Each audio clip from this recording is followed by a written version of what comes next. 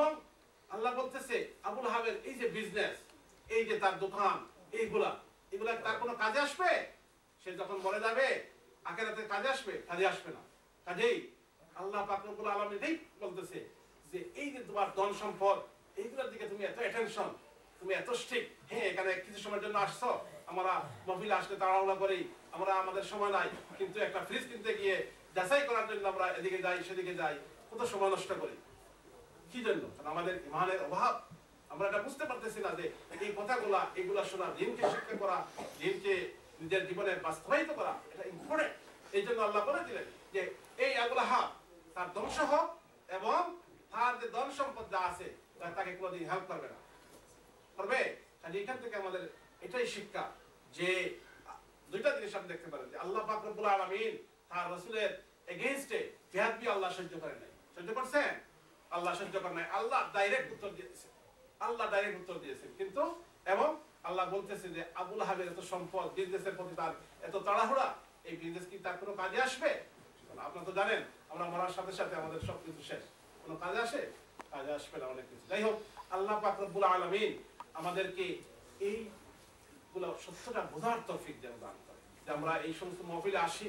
কারণ এইটা যেটা আমরা আমল আমাদের যে সৎ কাজ, এটাই আমাদের কাজে আসবে। আমাদের ইমান আমরা যদি ইমান নিয়ে পৃথিবী থেকে যাইতে না আর ইমান স্ট্রং করার জন্য এক্সারসাইজ করতে হবে। ইমান উইল নট কাম অটোমেটিক্যালি আপনারা জানেন বিজনেস করার জন্য পরিশ্রম করতে হয় ডিগ্রি নেওয়ার জন্য সময় দিতে হয়, অনেক খাটতে হয়। ঠিক সেইভাবে ইমানের পিছনে কাটতে হবে। ইমামের পিছনে ইমানের পিছনে পরিশ্রম করতে হবে। পরিশ্রম না হলে আমাদের ইমাম স্ট্রং হবে না। আর ইমান যদি না স্ট্রং না হয় তাহলে আমাদের সর্বনাশ ভরাডুবি। আমরা পরকালে আমাদের অবস্থা খারাপ হয়ে যাবে। সেদিন আমাদের সাহায্যের জন্য কেউই আসবে না, কেউই আসবে না। সেজন্য আমার বিশেষ অনুরোধ যে আমরা যেন সবাই এই সত্যটা, কারণ আমরা এত ভাগ্যবান যে আমরা আগেই বলেছি যে আমরা নবী করিম সাল্লাহ সাল্লামের হিসাবে এসেছি, আমরা বংশগতভাবে ধর্ম পেয়ে গেছি। আজকে তো সময় নাই।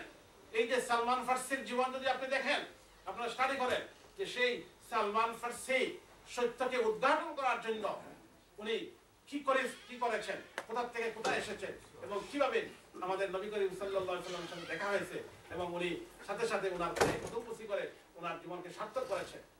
কীভাবে? সত্যের আরাম তো বুঝি না। আমরা সত্য পেয়ে সেই সত্যকে ধরে রাখতে পারতেছি না। আমাদের ব্যাড লাক সেই জন্য আমি অনুরোধ করব, আল্লাহ পাক আলামিন আমাদের সবাইকে যেন তৌফিক দান করেন। আমরা ভালো কাজ করি, আমরা এই জীবনটাকে শুধু প্রাধান্য না দিই পরকাল যেটা লং লাস্টিং সেটার দিকে আমাদের খেয়াল দিতে হবে এবং সেটার জন্য আমাদের পুঁজি সংগ্রহ করতে হবে এবং আমাদেরকে আল্লাহ পাক রব্বুল আলামিন তার যে নির্দেশ এবং তার নবী করিম সাল্লাল্লাহু আলাইহি সাল্লাম যেভাবে আমাদের বলেছেন, সেই সেটাকে আঁকড়ে ধরতে হবে। এটার মধ্যে আমাদের সাকসেস ওয়া আখিরু দাওয়ানা আলহামদুলিল্লাহি রাব্বিল আলামিন। আসসালামু আলাইকুম।